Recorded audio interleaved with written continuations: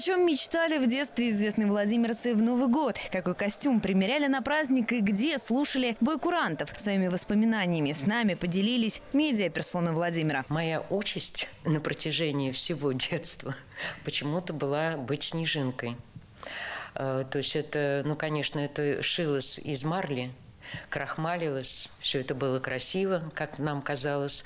Корона из разбитых стекляшек наклеивалась тоже обычным клеем на ватную поверхность.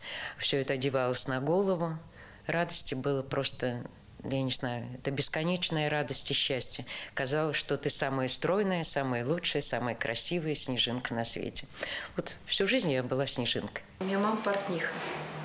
И она позволяла себе вот так к Новому году прошить своей дочке костюм. В пятом классе я была ночью.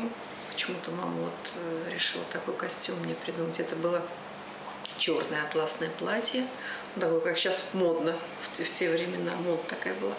Э, Рюмочкой такая юбка была, вся расшитая звездами серебряными.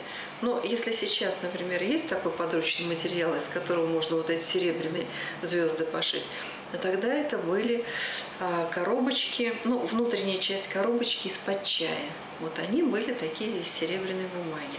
Вот у меня брат вырезал эти звезды, он там пришивала, а на голове у меня был колпак с месяцем. На Новый год э, к нам пришла в детский садик, как я понимаю, преподаватель танцев, и ей нужно было поставить сцену «Мишка с куклой громко топают».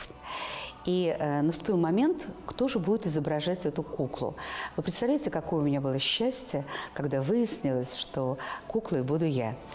И э, надо было сшить костюм. А шить было практически не из чего.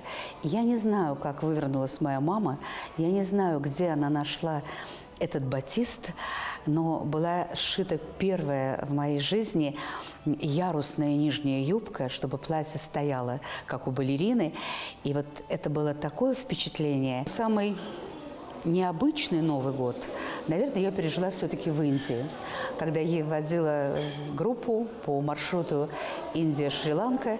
И э, вот это ощущение Нового года, когда ты окружена пальмами, когда очень жарко, когда совершенно необычная обстановка, э, наверное, он останется в памяти очень надолго. Год, когда наступал 95-й, я ждала второго сына, рождения второго сына. И когда мы уже сидели за праздничным столом, малыш уже был на подходе, он родился в феврале, мой Никита. Сейчас он уже взрослый. В этом году он пошел служить в ряды российской армии, сейчас служит.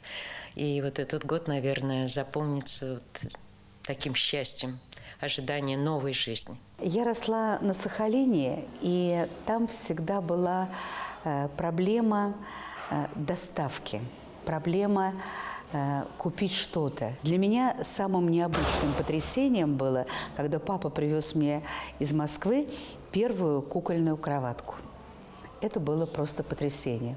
Оказывается, была специальная мебель для кукол. На Сахалине этого не было. Любила всегда а, встречать мою двоюродную бабушку, которая приезжала из Москвы, которая привозила ну, самые вкусные конфеты, наверное, которые мне вот в жизни удавалось попробовать. Это было птичье молоко.